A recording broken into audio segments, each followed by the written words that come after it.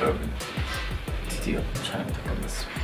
어, 항상 저는 이렇게 착장이 많고 재밌는 것들을 많이 하는 것 같아서 음, 저도 즐겁고 여러분들도 재밌게 보실 수 있는 화보이지 않을까 이번에도 그런 생각이 들고요. 개인적으로 옷이 굉장히 예뻤던 화보라고 생각이 듭니다. 여러분들 보면서 어떤 옷이 가장 마음에 드는지도 저도 궁금하네요.